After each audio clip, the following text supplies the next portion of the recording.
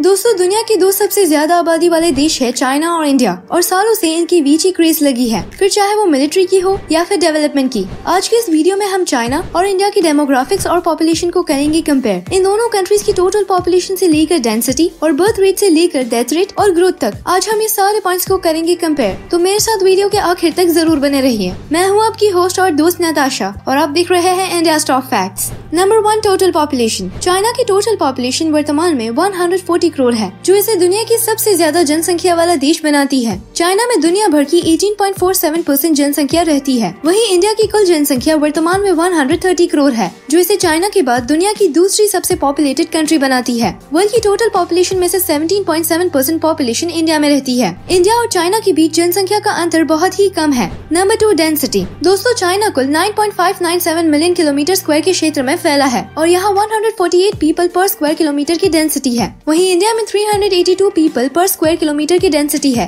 और यहाँ का total area 3.287 million kilometre square में फैला है। Number three population growth rate दोस्तों चाइना की पॉपुलेशन ग्रोथ रेट सिर्फ़ 0.59 परसेंट है। वहीं इंडिया की पॉपुलेशन ग्रोथ रेट 1.10 परसेंट है। Number four birth and death rate China की बर्थ रेट 11.673 बर्थ पर 1000 पॉपुलेशन है यानी 1.68 बर्थ पर वुमेन और 16 मिलियन बर्थ पर ईयर है। वहीं इंडिया का बर्थ रेट 18.2 बर्थ पर 1000 पॉपुलेशन है यानी 2.24 बर्थ पर वुमेन है। 2021 की शुरुआत पर ही इंडिया में पहले ही दिन 67,385 बच्चों ने जन्म लिया। जी हाँ फ़र्स्ट जनवरी एक दिन में इंडिया में जन्मे 67,385 बच्चे और ये न्यू ईयर में जन्मे बच्चों का अब तक का सबसे बड़ा आंकड़ा है। इंडिया के बाद चाइना का नाम है जिसने न्यू ईयर के दिन 46,299 बच्चों का जन्म रिकॉर्ड किया।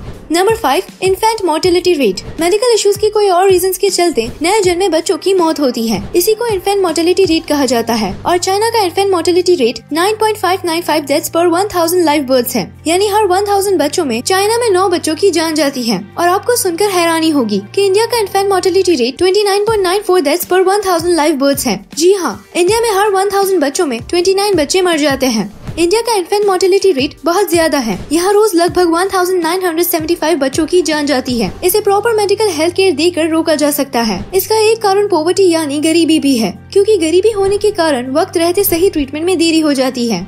Number six age structure China में ज़ीरो से 14 साल के अंदर 17.87 परसेंट की पॉपुलेशन है। 15 से 64 के एज के बीच 70.7 परसेंट लोग हैं और 65 की उम्र से ऊपर 10.92 परसेंट की पॉपुलेशन है। वहीं इंडिया में ज़ीरो से 14 की उम्र वाले 28.6 परसेंट पॉपुलेशन 15 से 64 उम्र के बीच 63.6 परसेंट और 65 ईयर्स की एज के ऊपर सिर्फ़ 5.3 परसेंट की संख्या रहती है। यानी इंडिया में जवान युवाओं की गिनती चाइना से ज़्यादा है और यहाँ चाइना से कम मात्रा में 65 अबाव के लोग रहते हैं। नंबर सेवन लाइफ एक्सपेक्टेंसी यानी एक व्यक्ति औसतन कितनी उम्र जीता है? चाइना की एवरेज लाइफ एक्सपेक्टेंसी 76.5 इयर्स है, जिसमें मेल की 74.4 इयर्स और फीमेल्स की लाइफ एक्सपेक्टेंसी 78.6 इयर्स है. वहीं इंडिया की एवरेज लाइफ एक्सपेक्टेंसी 69.7 इयर्स है, जिसमें मेल की लाइफ एक्सपेक्टेंसी 68.4 इयर्स और फीमेल की 71.2 इयर्स है. Number eight average age China में पॉपुलेशन की एवरेज एज 38.4 इयर्स है. यानी चाइना में ज़्यादातर लोगों की उम्र 38 के अंदर या आसपास है. इंडिया में एवरेज एज 29 इयर्स है.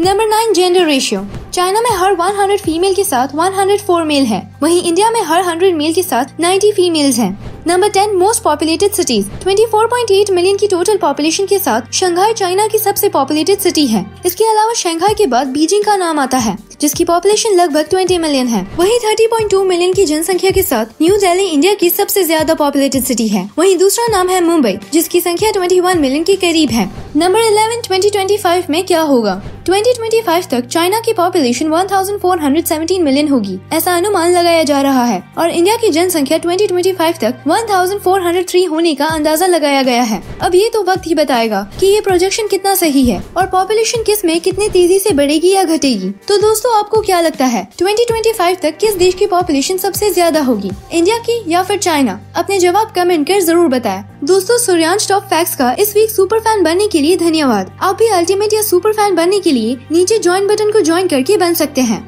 वीडियो पसंद आया तो लाइक और सब्सक्राइब करें और पसंद नहीं आया तो डिसलाइक करें।